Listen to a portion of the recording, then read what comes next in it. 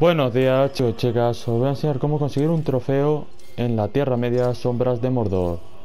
Cima de la desesperación.